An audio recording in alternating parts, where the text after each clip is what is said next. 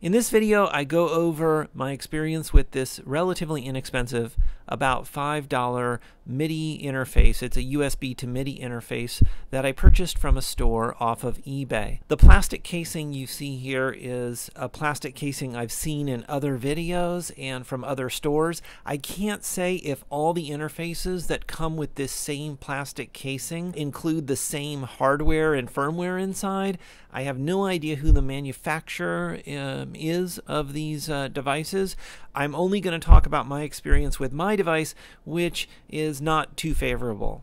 Okay, so we have a keyboard connected to the MIDI interface, and Ableton Live is going to be receiving notes from the keyboard and we have it window in window here. When I press on keys and Ableton receives the key, you'll see them turn red in the user interface in the center here. In the following three clips, you're going to see um, various sets of problems, including one where the MIDI interface completely stops working and it requires me to unplug and plug it back in.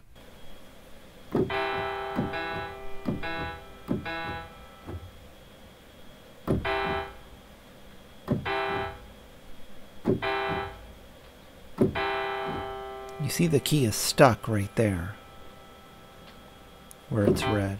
Okay, see, and I hit the key again and it went away. See, it's stuck again. It's not getting the note off.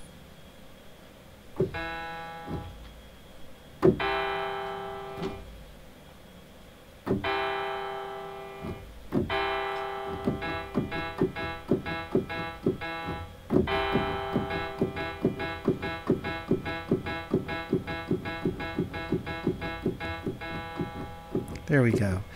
Now, now it's like frozen or locked up. The uh, device is not working, the adapter, and you can see it's not blinking anymore when I'm pressing the uh, keys.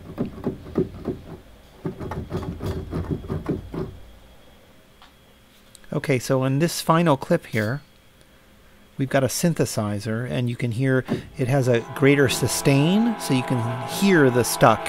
See, the key is stuck right now. The the the key off for some reason is not being sent.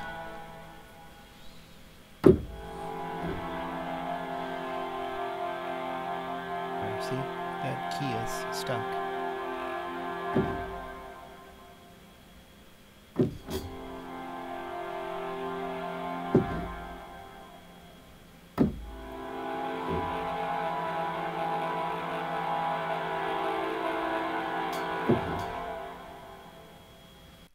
None of these problems crop up when I use the M Audio Fast Track Pro, which is actually an old audio interface, audio MIDI interface uh, that I have. And when I use that, uh, it works flawlessly, this setup. So uh, I can't really recommend this uh, inexpensive adapter. Now, there's a bunch of places that sell the same looking adapter, it's the same plastic. I can't say that the contents of all of these that have the same casing is the same. I can't vouch and, you know, say that like well, they're all going to be bad or whatever. I guess it's at your own risk, but in my experience uh, and at least in one other video I saw and you can see the link in the description, uh, somebody was not happy with that uh, with the same, you know, what seems to be the same interface.